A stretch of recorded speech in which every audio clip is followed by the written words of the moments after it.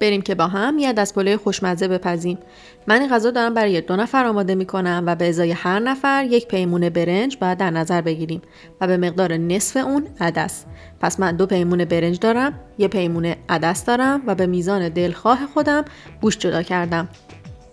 برای این غذا من یکم کیشمیش، دو تا دونه پیاز و یکم ادویه هم اضافه می‌کنم که توی ادویه های من دارچین، زردچوبه، فلفل و یکم زیره هستش. می‌ذارم برنج و عدسم یکم خیس بخورن یکم آب جوش به گوشتم اضافه می‌کنم یخش آب بشه و همینطور پیاز هامو نگینی می‌کنم. به نظر من نکته طلایی عدس پلوی خوشمزه اینه که عدس و برنجش رو بذاریم جداگونه بپزن و وقتی که جفتشون کامل پختن اونها رو با هم دیگه مخلوط بکنیم.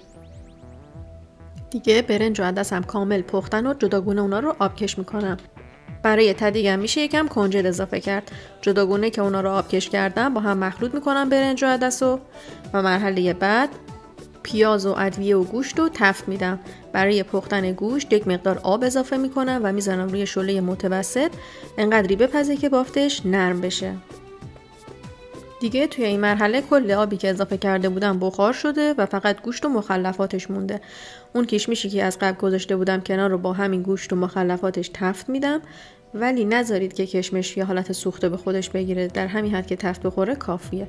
دیگه الان هم مخلفات آماده است و هم برنج آماده است. نوش جان.